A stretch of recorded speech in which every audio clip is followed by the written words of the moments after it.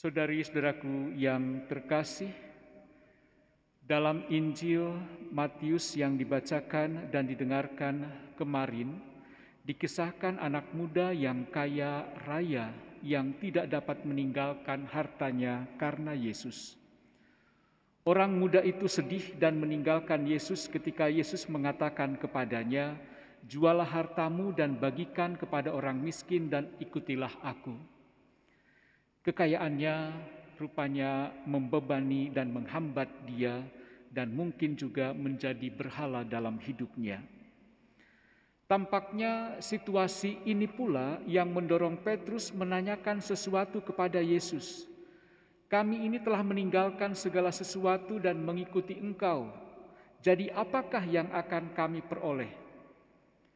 Petrus nampaknya membutuhkan jawaban untuk meyakinkan tentang segala sesuatu yang telah diperbuatnya juga oleh murid-muridnya yang lain.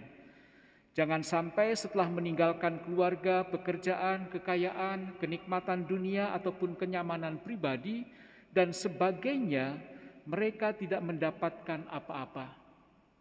Mereka tampaknya merasa bahwa Tuhan seolah-olah punya utang kepada mereka tetapi sesungguhnya Tuhan tidak berutang apa pun kepada mereka, tidak berutang apa pun kepada kita, kepada manusia. Justru kitalah manusialah yang berutang kepada Yesus karena ia telah menebus kita, karena ia telah menyerahkan dirinya untuk kita.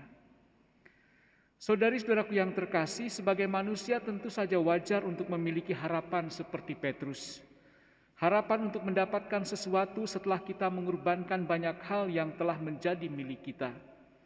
Tetapi ini menjadi masalah jika sikap hati kita merasa bahwa seolah-olah kitalah yang sudah berkorban paling banyak, melakukan semuanya, dan kita berpikir kita akan tetap menjadi yang terdahulu maka sikap ini tentu saja akan menjadi kesombongan rohani. Siapa saja bisa jatuh dalam kesombongan rohani. Kesombongan rohani itu sikap yang suka menghakimi, merasa diri paling benar dan rohani, merasa diri banyak berkurban atau membantu orang lain dan sebagainya.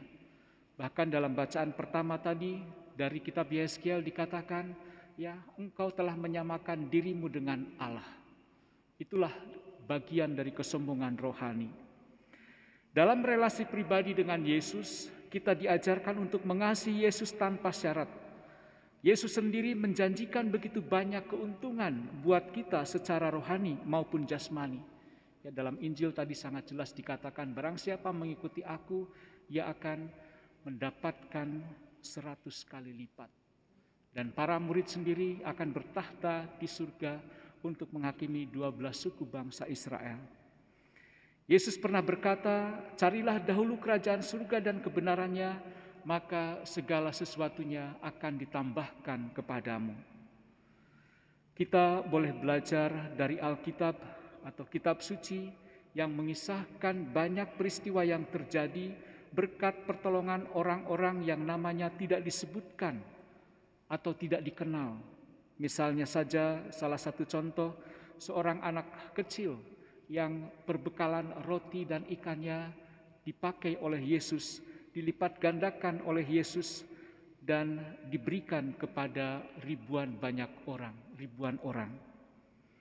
Dalam kehidupan kita juga ada banyak orang yang tidak dikenal, yang namanya mungkin tidak pernah diberitakan ataupun dipuji orang, banyak orang yang telah berdoa dengan setia, rela berkorban, dan sabar menanggung penderitaan bagi Kristus.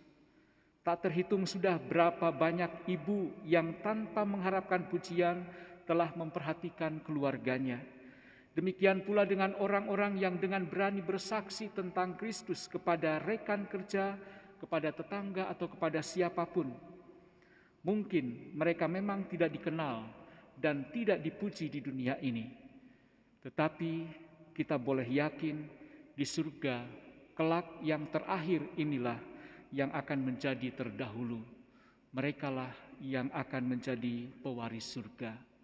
Semoga kita sebagai pengikut Kristus selalu dimampukan untuk menjalin relasi yang kuat dengan Kristus sendiri dan biarlah Tuhan sendiri yang melihat dan menilai segala perbuatan kita. Yang penting kita sungguh mau menghadirkannya dengan segala ketulusan hati, dengan iman, dan dengan harapan yang kuat, sehingga karya-karya kita pun boleh dirasakan oleh setiap orang yang kita layani. Tuhan memberkati.